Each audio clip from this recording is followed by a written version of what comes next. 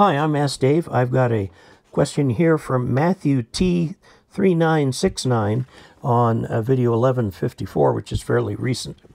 Okay, do you run the J-pole as a mobile sort of temporary thing? Not usually. If you get a roll-up J-pole, it's more for portable. You just hang it from a tree, okay? Like when you're camping or something like that. Now, a J-pole that's made of copper pipe is rigid and it has usually a piece sticking down that's not actually part of the antenna. But you can use hose clamps to connect that to something.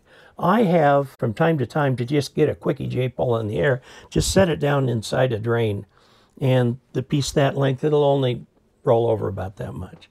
But normally you would connect that to a metal mast, and then the bottom of the mast, you'd connect a wire to your ground rod, and that will take the static charge off of that. The J-pole antenna is technically a balanced antenna, so you might want to put a choke balun or something like that up there with it. It's a nifty antenna. It doesn't really matter what you do with that bottom part.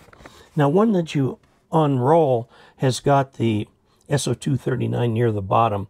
There's no mounting pole at the bottom, plus it's flimsy anyway. One thing I did once, there are, if you go down to your local motorcycle retailer, you can get fiberglass flagpoles that you attach to the four-wheeler or the side-by-side -side and put a flag on the top of it so you can be seen a little bit better.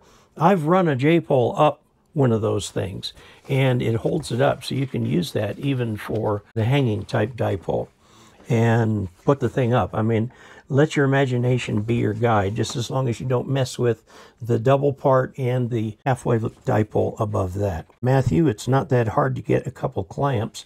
You get clamps that will go around whatever you're hooking it to plus the J-pole width and there you are. It's one or two. I would do two clamps. Until we next meet, 73.